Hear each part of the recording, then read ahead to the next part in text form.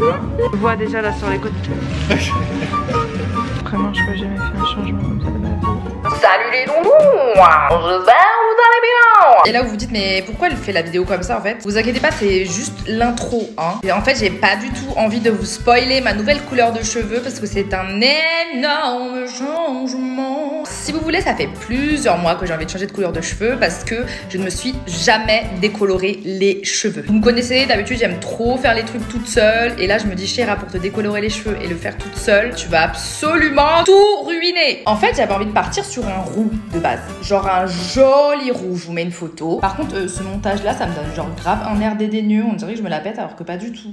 Définition de dédaigneux qui manifeste du dédain, méprisant, hautain. Mais malheur, Chéra, qu'as-tu fait? En fait, je suis restée un petit peu trop longtemps sur Pinterest. J'ai tapé curly hair color et j'ai trouvé des couleurs de cheveux. Genre, waouh Du coup, je me dis, tiens, pourquoi pas? On va décolorer?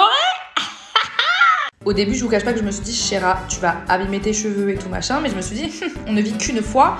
Je n'ai jamais fait de décolo. Euh, let's euh, s'amuser un petit peu, soyons fous, crazy. Et j'avais vu une coloration d'une copine influenceuse. Elle fait un roux magnifique et je me suis dit, purée, le coloriste et coiffeur doit être génial. J'ai pris rendez-vous avec le même. Pourquoi je crie? Pourquoi je crie? Et me voici, me voilà en route vers ce coiffeur avec une idée en tête, la photo que j'ai vue sur Pinterest. Aujourd'hui, il est quelle heure? 7 heures 37. Oui, c'est moi-même mon fond d'écran parce que bah, qui peut mieux m'aimer que moi? Personne. C'est un grand jour aujourd'hui. Pourquoi? Parce que nous allons procéder à un changement capillaire de taille. Bref, je vais changer de tête. J'ai peur.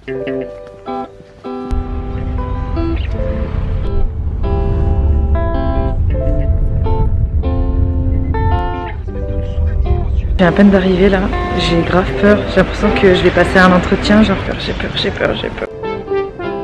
Oh c'est là, j'ai le track. I have the track. Bon, je viens d'arriver, mes cheveux c'est une catastrophe.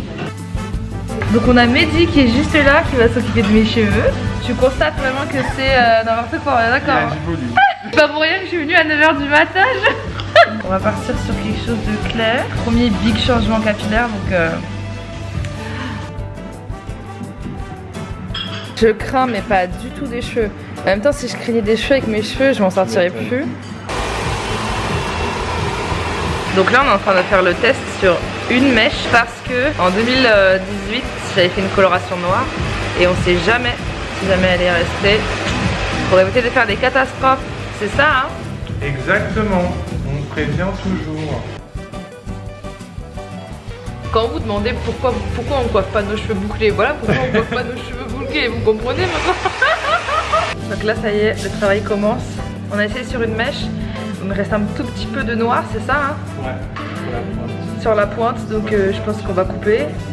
Vu que mes cheveux sont pas mal poussés. Mais là je stresse, tu sais, mon cœur bat la chamade. je saute un grand pas là. Euh, donc là on est à 80% de pause. Je mets mon nez un petit peu comme ça parce que si vous voulez le produit passe par là et je le respire. Bah là on a fini de poser. Oh mon dieu. Oh, c'est tellement lourd, genre le produit plus l'aluminium. mais, mais je suis engloutie là. Ah. Eh, du siège électrique et tout là. là On passe au rinçage de derrière, des mèches de derrière. Je veux même pas filmer parce que j'ai pas envie de me spoiler et de vous spoiler. Oh mon dieu. Je vois déjà là sur les côtés. Vraiment, je crois que j'ai jamais fait un changement comme ça de ma vie. Vraiment, je suis contente d'être accompagnée par vous parce que j'ai l'impression que c'est comme si j'étais avec ma meilleure amie. Même si... I have no friends. Là, on passe à la phase de soin. Je suis sous de la vapeur. Vous ne pouvez pas voir parce que mes racines ne sont pas colorées. Mais j'ai vraiment vraiment hâte de voir le résultat parce que je suis cachée. Il est actuellement 13h54.